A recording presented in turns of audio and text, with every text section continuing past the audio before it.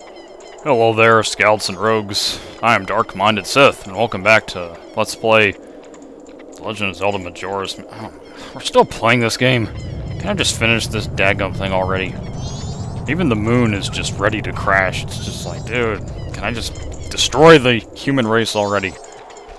Alright, so picking things up again in the graveyard. We got something to do on the night of day three here. To complete our daily task here in the graveyard, we could do something on the night of day one, day two, and now the night of day three.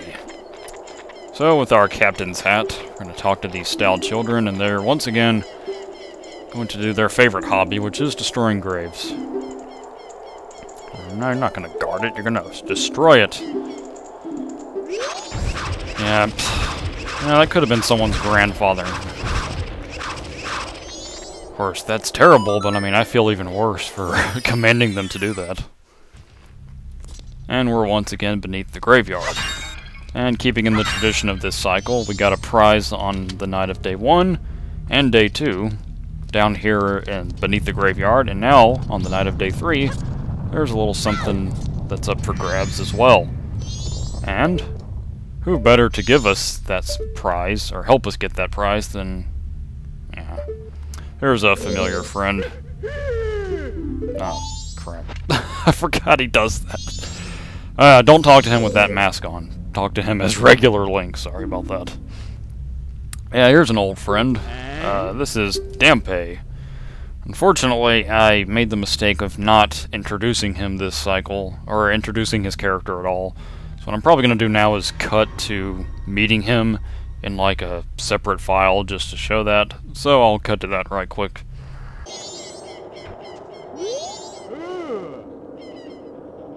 Oh yeah, you've done a good job with that. Yeah, that's right, kids. Don't judge a person by their hideously frightening face.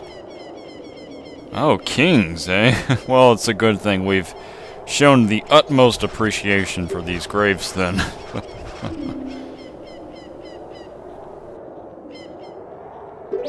well, then I'll do my best to make sure you're calm and relaxed and...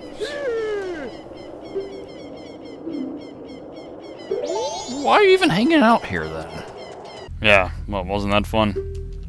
Yep, so that's who this guy is. This is Dampé, an old friend of ours. He hasn't changed much since Ocarina of Time, even in this parallel universe of Hyrule of sorts. Please, well, at least he's friendly. Alright, so he's going to dig up some treasure, and we're going to guide him to the different patches of soil here, and we're going to see what we can find. As you can see, there's soil here, some soil here, different patches of dirt. Yeah, man, be patient. Okay. We're gonna Z-target and guide him to the different... Uh, oh, crap! I forgot! oh, man, I totally forgot about that. I wasn't even listening to, to that. Yeah, there's wall masters here, and I... I gotta listen out for that. I don't really have my volume too loud. I gotta look out for that. Yeah, there's wall masters here, and if they grab you, you do have to start all over again, so... Yeah, you want to listen out for that. Or watch out for it. So yeah, what you're gonna do is Z-target. Um, I'm trying to be... I'm trying to listen out for the wall masters here. Um, you can lead him to some dirt using your Z-target. He'll say that there's something strange about the spot you're standing in. He'll dig to see what he can find. And in this case, we found a flame, a blue flame. That's important. We want to find at least three of these. He wants to find treasure, but I'm not too concerned with treasure.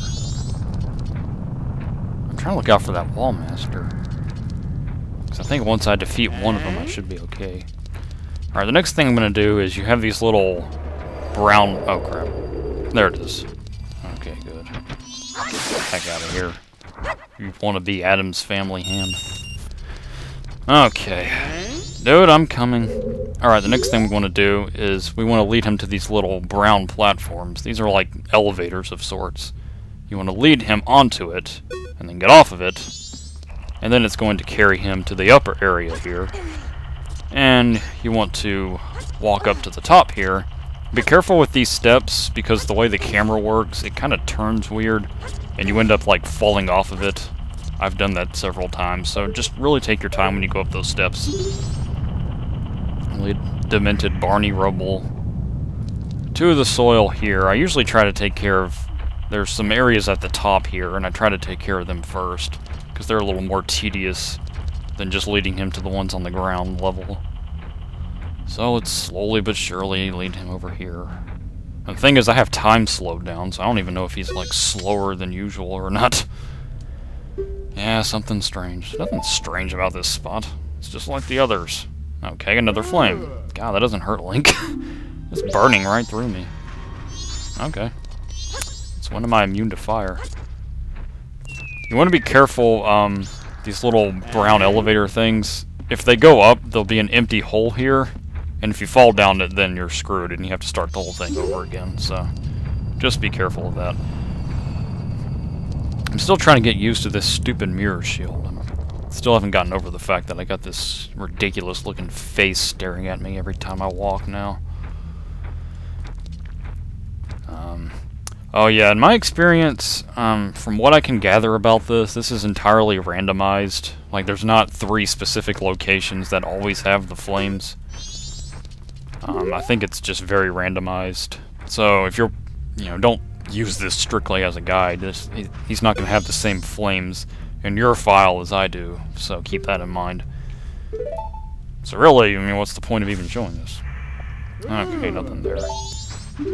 I think some of these have rupees as well. Or some have rupees, sometimes none have rupees. I'm going to lead him to this one. Oh, crap. How come that automatically went up? I thought it... I thought it wasn't supposed to do that until I, like, break the Z targeting, but Alright, so we're gonna lead him here to this, uh, this topsoil. it's not even soil, I don't think.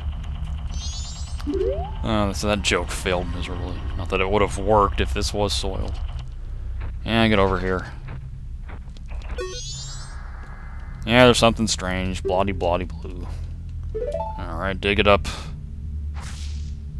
Nothing. Fabulous. If this ends up taking like 10 years, I'll probably, like, off-screen until I finally find the last flame. Yeah, it's kind of funny he falls. Dude, shut up!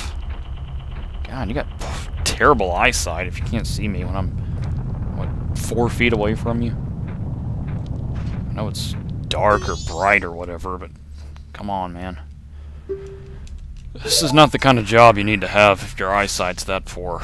Dadgummit. Alright, where's the other? I'm trying to find a thing of soil I haven't tried yet. Will you shut up? I'm scaling the area, man. I think this one right here I haven't tried. Course, I am kind of pressured for time a little bit, too. I mean, we are getting close to midnight here, and there is still something I need to do, but I think I can finish this okay, so... Come on, Humpty Dumpty. Man, oh man. Does he even know the moon's gonna crash? So that's the thing, you know? I guess when people think the world is gonna end, they kind of look at other people in the same way. They're like, they don't even know they're all doomed. Just living their casual lives, but I wouldn't want to know I was doomed. This ign ignorance is bliss, you know? Dadgummit. In fact, I think I didn't dig one of these first ones. Dude, come on, man. What'd you get on the freaking elevator for? Yeah, something strange. Bloody, bloody, blah. And we finally found the third flame. And when we get the three flames together, we get a big Poe. And oh, you freaking coward! Really? If he's that scared of ghosts, then why is he even hanging out near a graveyard? I mean, God. It's like being afraid of water and being a lifeguard. Alright, so we got a big Poe, and we're gonna defeat it just like we have with the other ones fought. What I normally do is shield, wait for it to hit the shield. Stupid, goofy-looking mirror shield we have. Then I Z-target and hit it with an arrow. Then I just rinse and repeat. It usually kind of goes from one area to another when it kind of fades. Hit you. Yeah, I know the world's ending, but we should stupid looking shield. Hit you with an arrow. And he's probably going to reappear there. Maybe it's a female, I don't know. Alright. There we go. Get the heck out of here. And after doing that very fun digging game that we just had such a joy in doing. Oh, I don't need an empty bottle. Um, we got a special little prize for that. And what is inside? This better be something good. This better be worth it. I mean, doing all that for just a mediocre, crappy side item that we're not going to do anything with. It's another empty bottle. Five empty bottles. That's right. That gives us our fifth, and that's not even all of them. We still got one more. Yep. After that, you can get an empty bottle. I'm as excited as you all are, let me tell you. I'm actually going to collect this Poe with our empty bottle. May lead to something good. Ooh, yeah, although it dissolved into purple Kool-Aid for some reason. Alright, the world's ending, so we got one last thing to do this cycle. I'm going to warp to Clocktown. Alrighty, we are back in Clocktown. We're over here in West Clocktown. One last little thing I'm going to do. I'm going to head in here to this place. This is one of the only places we can really do anything with. The Curiosity Shop. This is a very determined businessman, because even when the world's ending, he's not closing. He's even more committed than the mailman. The mailman, even during hail, sleet, sleet, and snow, he delivers the mail. This guy, even when the world's ending, he's in business. Alright, so what we're going to do first is I'm going to sell an item, actually. This is just like the pawn shop in real life. So in other words, we can sell bootleg DVDs and things we've stolen. I just caught a big Poe, so I'm actually going to sell that. Just to show this off. I'll actually buy that for 200 rupees. So we get 200 rupees, yeah. So that fills up my wallet all the way up to 500. And what we can do with 500 rupees is we can per- no, no, we can purchase a special item here. Now, unfortunately, I got, got, I got quite a bit to explain about this. This is the all-night mask. Now, there's a little bit I need to explain about that, because this has quite a bit of uh, picky criteria, if you will. Um, in order to buy the all-night mask, first and foremost, you can't buy it until now. You can't buy it until the night of the final day, and the Curiosity Shop, which I'm in right now, does not open until 10 o'clock. So you cannot get this item until the night of the final day at 10 o'clock or past. So you have a very strict pressured time to get this item. And on top of that, as you can see, this item costs 500 rupees.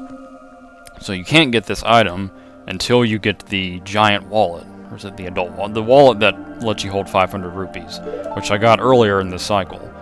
So if you don't have that wallet, you can't get this because then you can't hold 500 rupees.